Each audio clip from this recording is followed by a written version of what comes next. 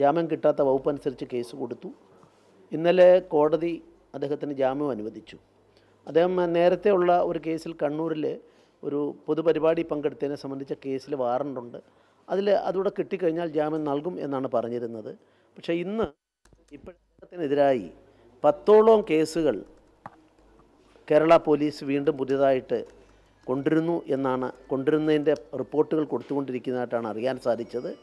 ഇത് നിയമത്തെ ദുരുപയോഗം ചെയ്തുകൊണ്ട് ബി ജെ പി നേതാക്കന്മാരെ അടിച്ചമർത്താമെന്നും ഞങ്ങളുടെ വായ അടപ്പിക്കാമെന്നുമാണ് ശ്രമിക്കുന്നതെങ്കിൽ കേരള തെറ്റ് അടിയന്തരാവസ്ഥയെ അതിജീവിച്ചൊരു പ്രസ്ഥാനമാണ്.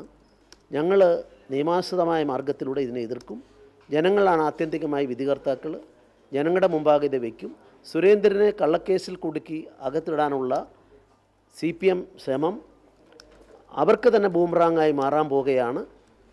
തീർച്ചയായും ഇതിനെതിരായിട്ടുള്ള പോരാട്ടം ശക്തിപ്പെടുത്തും. സുരേന്ദ്രൻ ഒറ്റയ്ക്കല്ല. സുരേന്ദ്രൻ ഈ നടപടികളെ ബി ജെ പി ശക്തമായി അപലപിക്കുന്നു. കൂടുതൽ കേന്ദ്രമന്ത്രിമാർ ശബരിമലയിലേക്ക് വരാനുള്ള സാധ്യതയുണ്ടോ? അതിനെപ്പറ്റി അതിന്റെ ഡീറ്റെയിൽസ് പിന്നീട് ഞാൻ പറയാം. ഈ എത്ര നാൾ സ്ത്രീ പ്രവേശനത്തിനെതിരെയുള്ള സമരവുമായി മുന്നോട്ട് പോകും?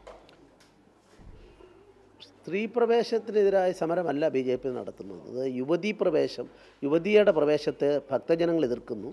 ആ ഭക്തജനങ്ങൾക്ക് ബി ജെ പി പിന്തുണ നൽകുകയാണ്. അതുകൊണ്ട് അതിനെ സംബന്ധിച്ചിടത്തോളം തീർച്ചയായിട്ടും അന്തിമമായ വിധി വര വരാനിരിക്കുന്നതേ ഉള്ളൂ. അന്തിമമായ വിധി ഇരുപത്തിരണ്ട് ജനുവരി അത് ഹിയർ ചെയ്യാൻ വേണ്ടി വെച്ചിരിക്കുകയാണ്. ഒരു ജഡ്ജ്മെന്റ് അന്തിമ വിധിയാകുന്നത് അതിലെ വിവിധ റീഓപ്പണിംഗ് ഹർജികൾ റീഓപ്പൺ ചെയ്ത് കേൾക്കുന്ന ഹർജികളെല്ലാം വിധി പ്രഖ്യാപിക്കുമ്പോഴാണ്. അതിന് ഞങ്ങൾ കാത്തിരിക്കുന്നു. അതിന് ശേഷം അക്കാര്യത്തെപ്പറ്റി അഭിപ്രായം പറയാം. അന്തിമ വിധി വന്നാൽ അത് എന്തായാലും അംഗീകരിക്കും അല്ല അന്തിമ വിധിയെ ആ വിധി വന്ന ശേഷമല്ല അതിനെപ്പറ്റി പറയാൻ സാധിക്കുള്ളൂ. ബി ജെ പിയുടെ കേന്ദ്ര നേതൃത്വത്തെ കാണുന്നുണ്ട്. ആരെയാണെന്നുള്ളത് സെൻട്രൽ ഓഫീസിൽ പോയിട്ട് പറയാൻ പറ്റും എന്തായാലും റിവ്യൂ പെറ്റീഷൻ എടുക്കുകയാണ്. പക്ഷെ ബി ജെ പി ഒരു റിവ്യൂ പെറ്റീഷൻ ഒന്നും കൊടുത്തിട്ടുമില്ല. തെറ്റാണ് ആ പറയുന്നത്. ബി ജെ പിയോട് സംഘപരിവാറിനോട് ബന്ധപ്പെട്ട കേരള ക്ഷേത്ര സമിതി കേരള അയ്യപ്പ സമാജം അതുപോലെ രാധാകൃഷ്ണൻ ബി ജെ പി പ്രവർത്തകൻ രാധാകൃഷ്ണൻ ഇങ്ങനെ മൂന്ന് റിവ്യൂ ഹർജികൾ അവിടെ കൊടുത്തിട്ടുണ്ട്.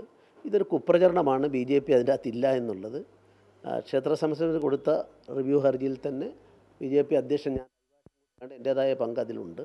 അതുകൊണ്ട് എണ്ണത്തിലല്ല ഈ കൊടുത്തില്ല എന്നുള്ളത് ഒരു കുപ്രചരണമാണ്. അതിന് ബി ജെ പിയെ തകർക്കാൻ വേണ്ടിയിട്ട് ജനങ്ങളുടെ തെറ്റിദ്ധാരണ ഉണ്ടാക്കാനുള്ള പ്രചരണമാണ്. അല്ല പരിഹാരം ഗവൺമെന്റ് നിലപാടാണ്. ഞങ്ങളുടെ സമരം ഗവൺമെന്റിനെ സംബന്ധിച്ചിടത്തോളം ഗവൺമെന്റ് ഈശ്വരവിശ്വാസമില്ലാത്ത ഈശ്വര നിഷേധികളുടെ ഭരണമാണ്. ആ ഭരണത്തെ സംബന്ധിച്ചിടത്തോളം അവർ അൻപത് കൊല്ലമായി കമ്മ്യൂണിസ്റ്റ് പാർട്ടി ശബരിമലയെ തകർക്കാൻ വേണ്ടി ശ്രമങ്ങൾ നടത്തിയിട്ടുണ്ട്. അതിന്റെ ഭാഗമാണ് പാർട്ടിയുടെ സി പി എമ്മിന്റെ പാർട്ടി കോൺഗ്രസ് കോയമ്പത്തൂരിൽ ചേർന്ന പാർട്ടി കോൺഗ്രസ്. അതിന്റെ തെറ്റിദ്ധരുത്തൽ പ്രമേയത്തിലെ മൂന്നാമത്തെ കാര്യമാണ് എല്ലാവരും ആത്മീയ വിശ്വാസങ്ങളിൽ നിന്ന് മാറി നിൽക്കണം. അതിനെ പ്രോത്സാഹിപ്പിക്കരുത്. അത് അനുവർത്തിക്കരുത് എന്നുള്ളത് മലയാള പുസ്തകം തന്നെ കയ്യിലുണ്ട് അവരുടെ അന്നത്തെ അപ്പം. അപ്പോൾ അവരുടെ നിലപാടാണ്. ആ നിലപാടിന് സുപ്രീം കോടതി നിന്ന് കിട്ടിയ വിധിയെ ഒരു ആയുധമാക്കിക്കൊണ്ട് അവർ നടത്തിയ അന്ന് തന്നെ ഇത് ഞങ്ങൾ ചെയ്യുമെന്ന് പറഞ്ഞുകൊണ്ട് ഇറങ്ങി പുറപ്പെട്ട് ഇരന്ന് വാങ്ങിയ വിവാദമാണ്. കേരള ഭരണകൂടം ഇരന്ന് വാങ്ങിയ വിവാദമാണ് ഇപ്പോൾ ശബരിമലയെ സംബന്ധിച്ചുള്ളത്. ഞങ്ങൾ യുവതി പ്രവേശനത്തിനെതിരായിട്ടല്ല ഈ സമരം നടത്തുന്നത് ഗോപാലപുരം മാസ്റ്റർ പറഞ്ഞത് അതേ അതൊക്കെ തെറ്റായ വാർത്തകളാണ്. യുവ- യുവതീ പ്രവേശന ഇതെല്ലാം കബളിപ്പിക്കാനും തെറ്റിദ്ധരിപ്പിക്കാനുമായിട്ട് ചെയ്യുന്നതാണ്. ഇന്നലെ തന്നെ സുപ്രീം കോടതിയിൽ അല്ല കേരള ഹൈക്കോടതി കൊണ്ടുവന്ന് ഹാജരാക്കിയ കണ്ണൂർ ജില്ലയുടെ ഒരു രേഖ സർക്കുലർ എന്നാണ് പറയുന്നത്. അത് കണ്ണൂർ ജില്ലയിൽ അങ്ങനെ ഒരു രേ- ഒരു രേഖ തന്നെ ഇറക്കിയിട്ടില്ല. സി പി എം ദേശ അത് കൃത്രിമമായി ഉണ്ടാക്കിയതാണ്. അതിനെതിരായിട്ട് ഉള്ള കേസ് ആ കേസിൽ ആ പാർട്ടി കുടുങ്ങുമെന്ന് എനിക്ക് ഉറപ്പുണ്ട്. ഒരിക്കൽ എനിക്ക് മാപ്പെഴുതിയാണ് സി പി എമ്മിന്റെ കേരള കമ്മിറ്റി. മാനനഷ്ട കേസ് പിൻവലിച്ച് ഒന്നാം പേജിൽ ദേശാമാനി വീണ്ടും അവർക്കത് വേണ്ടി വരും എന്നുള്ളത് കാരണം ഇല്ലാത്ത സർക്കുലർ കൃത്രിമമായിട്ടുണ്ടാക്കിയിട്ട്. ഞാൻ പറയുന്നത് കണ്ണൂർ ജില്ലയുടെ കണ്ണൂരിന്റെ സർക്കുലറിനെ കുറിച്ച് മറ്റേ കേരള സർക്കുലറിനെ സംബന്ധിച്ച് ഞങ്ങൾ നേരത്തെ പറഞ്ഞിട്ടുള്ളതാണ് അതിലേക്ക് കടക്കുന്നില്ല. അത് ഞങ്ങൾ ഉറച്ചു നിൽക്കുന്നതാണ്. പക്ഷേ കണ്ണൂർ ജില്ലയുടെ സർക്കുലറായിട്ട് ഇന്നലെ കേരള ഹൈക്കോടതി കൊണ്ടുവന്നതും ദേശാമാനി പ്രസിദ്ധപ്പെടുത്തിയതും നൂറ് ശതമാനം കൃത്രിമമായി ഉണ്ടാക്കിയതാണ്. അതിനെതിരായിട്ട് നിയമ പോരാട്ടത്തിന് കണ്ണൂർ ഘടകത്തോട് ഞങ്ങൾ ആവശ്യപ്പെട്ടിരിക്കുകയാണ്.